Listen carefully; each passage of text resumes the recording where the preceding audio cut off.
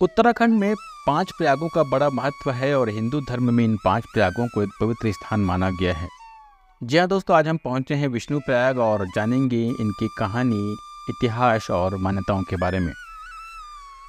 दोस्तों, इन प्रयागों या संगमों के साथ कई युगों की बहुत सी कथाएँ और मान्यताएँ जुड़ी हुई हैं, जिनको आज भी कई लोग नहीं जानते हैं।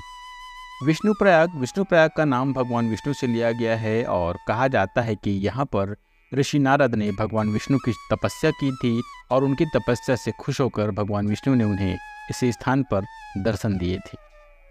इस घटना की याद में संगम से लगभग दो किलोमीटर दूर एक प्राचीन मंदिर बनाया गया है, जिसे विष्णु मंदिर के नाम से जाना जाता है।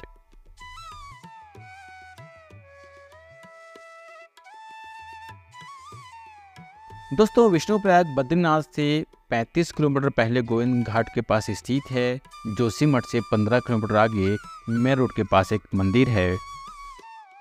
आपको पहले प्रयाग यानी विष्णु प्रयाग, जहाँ पर विष्णु गंगा और धौली गंगा नदी का संगम होता है, और यहीं से चली आ रही है अलकनंदा नदी, और अलकनंदा नदी के इस भाग को विष्णु गंगा के नाम से पुकारा जाता है।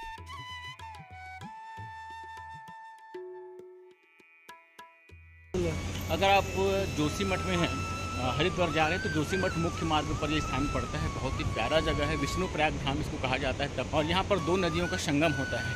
आइए इसके बारे में और डिटेल जानकारी लेते हैं। दोस्तों, दूसरी तरफ़ से चली आ रही है धौली गंगा। और दोनों नदियों का संगम इस स्थान पर हो रहा है। विष्णु प्रयाग में मिलने वाली यह दो नदियाँ अलकनंदा और धौली गंगा अलग अलग ग्लेशियर से होकर के आती है। तो पहले बात करते हैं दोस्तों अलकनंदा नदी के बारे में। अलकनंदा नदी सतोपत ग्लेशियर से निकलती है और सतोपत का अर्थ होता है सत्य का रास्ता। कहा जाता है कि महाभारत के अनुसार पांडवों ने स्वर्ग जाते हुए इसी रास्ते में स्नान और ध्यान किया था और इसके बाद उन्होंने आगे का सफ़र यहीं से तय किया था। अलकनंदा नदी सतोपत से निकलकर माना गाँव आती है और माना गाँव से यह अलकनंदा नदी बद्रीनाथ धाम आती है। बद्रीनाथ धाम पहुँचने के लिए आपको अलकनंदा नदी पार करनी होती है। उसे लगभग 50 मीटर की ऊंचाई पर बद्रीनाथ मंदिर स्थित है और बद्रीनाथ मंदिर का मुख्य द्वार भी नदी की तरफ़ है। दोस्तों, बद्रीनाथ धाम से पांडुकेश्वर और गोविंद घाट होते हुए अलकनंदा नदी पहुँचती है विष्णु प्रयाग जहाँ पर यह मिलती है धौली गंगा से और अलकनंदा नदी भारत की सबसे प्राचीनतम नदियों में से एक है। नई प्राचीन ग्रंथों में इस नदी का वर्णन भी किया गया है और यह भी कहा जाता है कि भगवान शिव ने माँ गंगा को अपनी जटाओं में समा लिया था, तब उन्होंने अपनी बालों से गंगा की धारा प्रवाहित की। और इसीलिए शिव की जटाओं से निकलने के कारण से इस नदी का नाम पड़ा अलकनंदा नदी।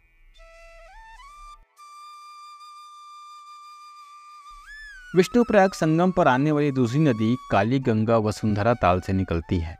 नीति दर्रे से होते हुए यह पहुँचती है। रानी नामक गाँव में और रानी गाँव जोशीमठ से लगभग 20 किलोमीटर पहले है। नौली गंगा तपोवन से होते हुए आती है विष्णु प्रयाग पर, जहाँ पर यह अलगंदा नदी से मिल जाती है। बर्फ़ यहाँ पर दिखाई पड़ती है पहाड़ों के ऊपर। या जो पहाड़ आप देख रहे हैं, दिसंबर मिड दिसंबर के बाद यह पूरी तरह से बर्फ़ से ढक जाता है। मैं अभी जोशीमठ नामक स्थान पर और यहाँ पर मैं पीछे आपको दिखा रहा हूँ, ज़बरदस्त नज़ारा। एक नदी है, वाला गंगा नदी है। दूसरी तरफ़ है धौली गंगा, दोनों का यहाँ पर जोशीमठ में मिलन होता है। यह मंदिर इस संगम के ऊपर एक छोटे से पहाड़ पर स्थित है। दोस्तों, जोशीमठ से बद्रीनाथ वाले मुख्य मार्ग पर बद्रीनाथ से लगभग 35 किलोमीटर पहले रोड के दाई तरफ़ यहाँ पर यह स्थान देखने को मिलेगा। विष्णुप्रयाग संगम का मेन गेट यहाँ से आप अंदर जब जाते हैं तो यहाँ पर छोटे छोटे पेड़ उसके पास बने रेस्टिंग सेट यहाँ पर देखने को मिलते हैं और यहीं पर बहुत सारे मंदिर को भी आपको देखने का मौका मिलेगा। दोस्तों, यहाँ पर अति प्राचीन भगवान विष्णु नारायण जी का एक मंदिर देखने को मिलता है और जब यहाँ से आप आगे बढ़ते हैं तो भूतनाथ महादेव जी का मंदिर यहाँ पर देखने को मिलता है और भूतनाथ महादेव मंदिर के बालकनी से ही दिखने लगता है विष्णु प्रयाग संगम का अनोखा व्यू। दोस्तों, विष्णु नारायण मंदिर के गेट के पास ही बना है धौली गंगा अलकनंदा संगम। नीचे जाने का रास्ता और इस गेट के पास आप जाएँगे तो यहाँ पर लगभग 30 से 40 सीढ़ियाँ नीचे उतरने के बाद दिखेगा संगम का सुंदर सा दृश्य। विष्णुप्रयाग में दाएँ और बाएँ और दो पर्वत हैं, जिन्हें भगवान विष्णु का द्वारपाल के रूप में जाना जाता है। दाया पर्वत जय और बायां पर्वत को विजय के नाम से पुकारा जाता है। विष्णुप्रयाग में जय विजय पर्वत की मान्यता के समान ही बद्रीनाथ, अगर आप जाते हैं तो वहाँ पर पर्वतों की मान्यता भी देखने को मिलती है। जी हाँ दोस्तों बद्रीनाथ धाम पर नर और नारायण नामक दो पर्वत श्रृंखलाएँ देखने को मिलती है और इन्हीं दोनों पर्वत श्रृंखलाओं के बीच में बसा है बद्रीनाथ जी का धाम। दोस्तों, बताया जाता है कि नर और नारायण दो ऋषि हुआ करते थे और यह भगवान विष्णु का ही एक अंश बताया गया है।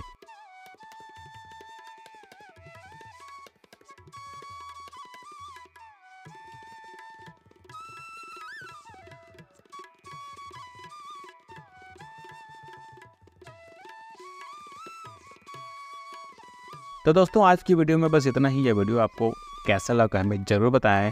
मिलते हैं अगले वीडियो में। तब तक के लिए जय हिंद, जय भारत, जय विष्णु प्रयाग।